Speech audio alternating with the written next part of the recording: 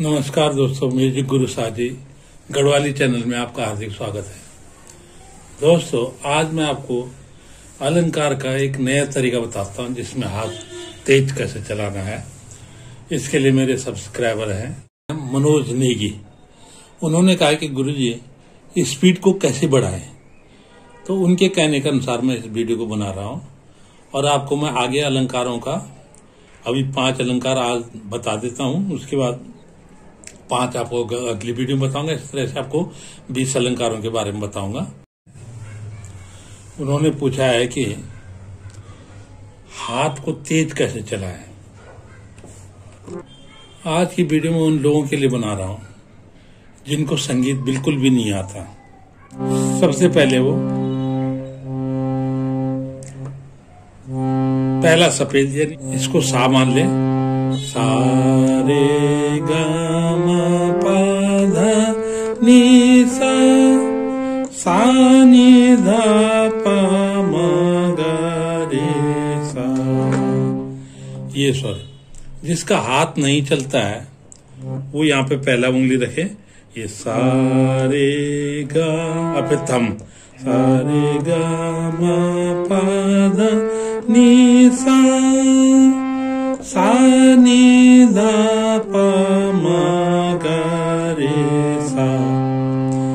पहला उंगली दूसरा उंगली यहाँ पे थम फिर पहला दूसरा तीसरा फिर थम और फिर पहला उंगली इसी तरह वापस जाना पहला उंगली थम तीसरा दूसरा पहला फिर थम फिर दूसरा और पहला ये आप कहीं भी भी सारे गाँव बजाओ बजाओगे उसके लिए ये रूल जिसका हाथ नहीं चलता, वो हाथ चलने के लिए ऐसा करके आप प्रैक्टिस कर सकते हैं। और ये कोई ज़रूरी नहीं है कि आपको, अगर जिसका हाथ चलता है वो किसी भी उंगली से बजा सकता है, और आपको भी जब हाथ चल जाएगा तो किसी भी उंगली से कोई सा स्वर बजाए, आपको संगीत बजाने से मतलब होता है। तो यहाँ से इसलिए सिखा रहा हूँ कि ये रूल है एक। ये देखो, सारे गा गा और माँ एक साथ जुड़े हुए हैं। देखो, इनके बीच में कोई स्वर नहीं है। फिर पाधा नी सा और नी और सा के बीच में भी कोई स्वर नहीं है। यानी गा, मा और नी सा एक साथ जुड़े हुए हैं। बाकी सब सब में एक, बाकी सब में एक एक का डिफरेंस है। यानी सा, एक छोड़ के फिर रे, एक छोड़ के गा गामा एक साथ है। फिर एक छोड़ के पा, ये छोड़ दिया। पा, फिर एक छोड़ के धा फिर एक छोड़ के नी और नीसा एक साथ है। तो आपको कहीं से भी अगर सरगम बजानी है तो आप इसी रूल को लागू कर सकते हो कि गामा एक साथ है और नीसा, यानी गामा और नीसा एक साथ है, बाकी सब में एक का डिफरेंस है। इस तरह से आप प्रैक्टिस करोगे तो आपका हमेशा सारे गामा आप किसी भी स्वर से निकाल सकते हो। आप अगर यहाँ से सारे गामा जाओगे तो ये सारे गामा, ये तो गामा एक साथ हो गया। सारे गामा पादा नीसा, और नीसा एक साथ। सबके लिए यही रूल है। जो रूल यहाँ अप्लाई हो रहा है, कहीं से भी सारे गामा बजाओगे, इसी फॉर्मूले को आपको याद रखना है। तो इसको देखकर आप कहीं से भी सारे गाँव बजा सकते हो। यहाँ से जब आपको आ जाएगा एक बार यहाँ आप कुछ दिन प्रैक्टिस कीजिए ताकि आपको सारे गामा बजाना आ जाए। इसमें गामा और नीसा एक साथ है। ये याद रखना बस, ये याद रखने वाली चीज़ है। बाकी सब में एक एक का डिफरेंस है, चाहे सफ़ेद हो, चाहे काला हो। ये सब बराबर होते हैं। अगर आप पीछे खोल के देखो तो सब बराबर है। सब लाइन से लगा हुआ है, सब बराबर है। इसमें कोई दिक्कत नहीं है। तो आपको कहीं से भी इस रूल को, जैसे आपको सा यहाँ बनाना है तो सारे गा। अब गामा एक साथ होता है इसलिए मा ही हो जाएगा। गामा एक साथ है। फिर पाधा नीसा नीसा फिर एक साथ है। तो सब में एक छूटता जाएगा, देखो। सारे, इसके बीच में एक छूट गया। रेगा इसके बीच में एक छूट गया। गामा एक साथ है। मा, पा, एक छूट गया। पाधा एक छोड़ दिया। धानी एक छोड़ दिया। फिर नीसा एक साथ है। चाहे सफ़ेद हो, चाहे काला हो, उससे कोई मतलब नहीं है। पर एक का डिफरेंस होता है, गामा और निशा के अलावा। तो इस तरह से आपको सारे गामा हमेशा किसी भी स्वर से आप निकाल सकते हैं। आपके लिए, हमेशा के लिए परमानेंट आपका एक रूल बन गया। अब जब आपको सारे गामा निकालना आ जाएगा तो आप किसी भी स्वर से पकड़ सकते हैं। सपोज़ हम यहाँ से सारे गामा जा रहे हैं। सारे पाधा सा। उसी रूल को अप्लाई किया हमने। नी, सा और गामा एक साथ है, बाकी सब में इकट्ठे ये सारे गामा सा। अब आपने तेज करने के लिए क्या प्रैक्टिस करनी है? पहले इसको धीरे बजाना है। सा, रे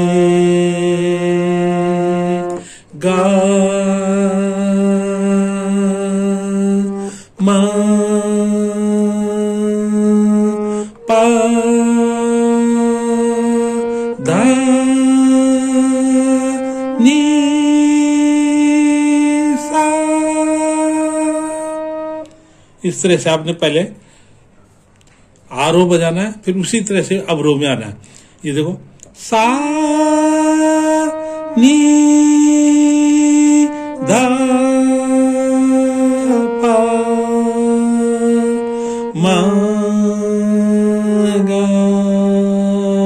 रे, सा।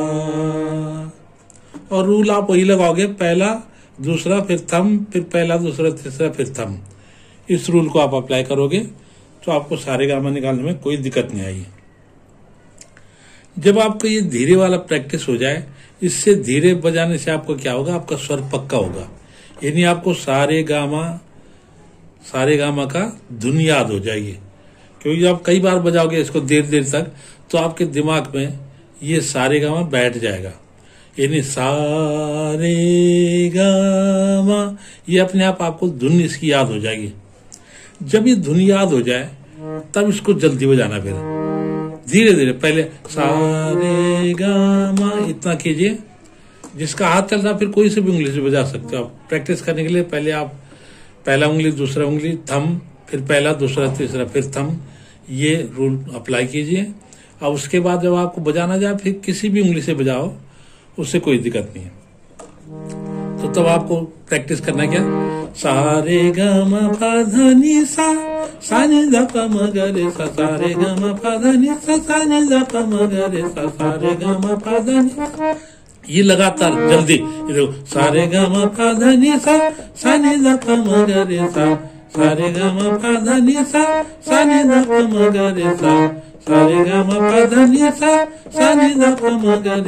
कई बार इसको ऐसे, जब रट्टा लगाओगे आप तो आपको सारे गामा पा देने से का बोलना भी आ जाएगा। जितना जल्दी बोलोगे तो हाथ भी उतना जल्दी चलेगा। यानी जल्दी बोलोगे उसके साथ साथ बजाना भी है। जब आपको धीरे बजाना आ गया तो आप तेज भी बजा लोगे।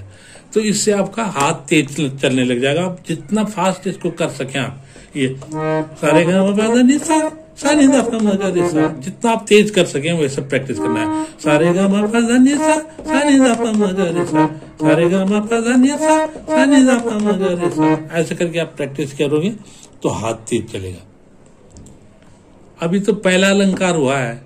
जब दूसरा बजाओगे तो दूसरे में सा सा, रे रे, गा गा, मा मा, पा पा, धा धा, नी नी सा सा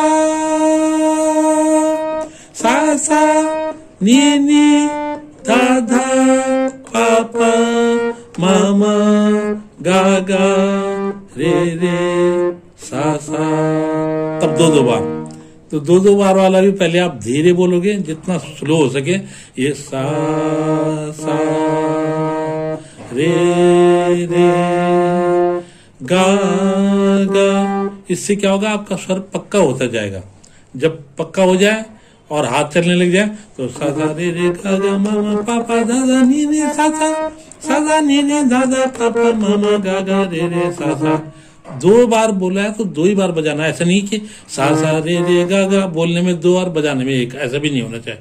क्योंकि आपको दो बार बजाना, जितने बार आपको दो बार दबाना है तो दो बार ही दबाना है। ऐसे अगला सरगम आएगा सा सा सा रे रे रे तीन बार वाला।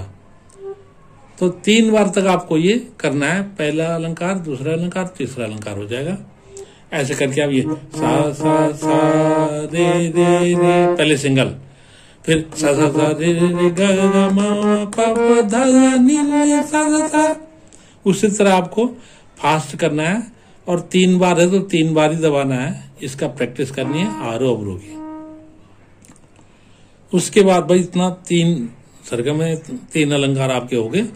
चौथा अलंकार में आप सारे रे ग म धा धानी नि सा पहले वही धीरे बोलना है और फिर इसको भी फास्ट करना है। सा नि धा धा प प म म ग ग रे रे सा ये चौथा वाला अलंकार हो गया। तो इसको भी सारे रे ग ऐसे तेज जल्दी बजाने का, जितना आप जल्दी बजाओगे और आपको बोलना भी आ जाएगा और बज भी जाएगा। जितना जल्दी आपको बोलना सीखोगे, उतना जल्दी बजना भी आ जाएगा। पांचवा, सारे ग, रे ग म, तीन तीन लेने। अभी आपने सारे दो दो लिए थे, अब तीन हो जाएगा। सारे ग रे ग म प तो इसको आप पहले धीरे बजाना वही सारे रे म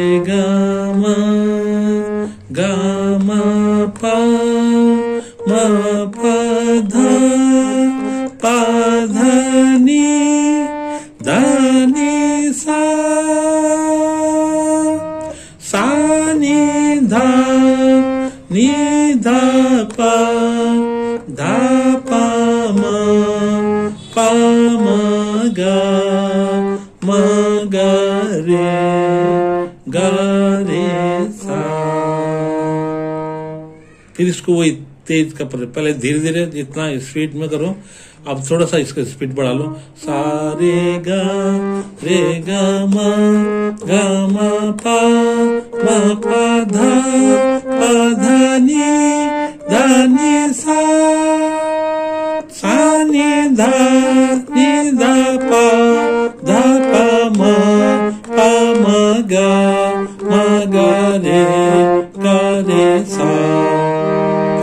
बढ़ जाएगा। सारे